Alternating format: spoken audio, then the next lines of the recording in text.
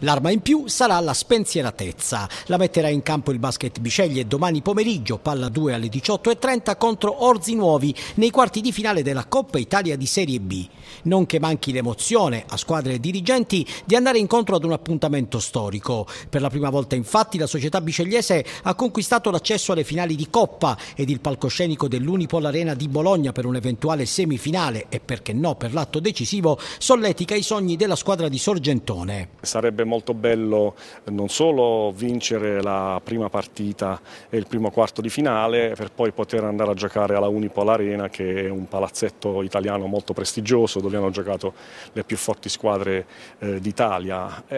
ciò nonostante non vorremmo fermarci neanche a vincere il quarto di finale, ci piacerebbe andare in fondo e vedere di cosa siamo capaci. Siamo orgogliosi eh, di questo risultato e andiamo a Bologna consapevoli della difficoltà, dell'impegno, ma anche carichi di voglia di stupire, di stupire ancora eh, contro i pronostici che da tutta Italia ci, dan, ci, dire, ci, ci mettono fuori dalla possibilità di andare avanti, però il nostro obiettivo è quello.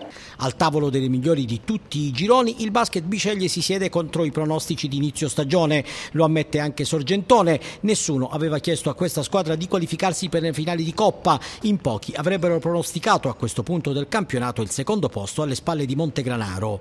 La formazione bicegliese però non si sente per nulla imbucata all'appuntamento bolognese, il campionato per adesso può aspettare. Nessuno ci aveva chiesto di qualificarci alla Coppa, nessuno penso fosse convinto all'inizio di poter essere a questo punto secondo in classifica. Di conseguenza molto bene, molto soddisfatti del cammino fatto sin qui, ma non appagati e convinti e consapevoli che il duro verrà proprio ora. Subito dopo la, il weekend di Coppa Italia, a prescindere da quanto durerà, perché è ad eliminazione diretta, dovremo subito dopo rimetterci al lavoro già da martedì prossimo perché abbiamo una gara importantissima in casa contro Matera e quindi non potremo distrarci, dovremo subito riprendere contatto con il campionato dove siamo secondi in classifica e quindi ci teniamo a mantenere la posizione per piazzarci bene ai playoff.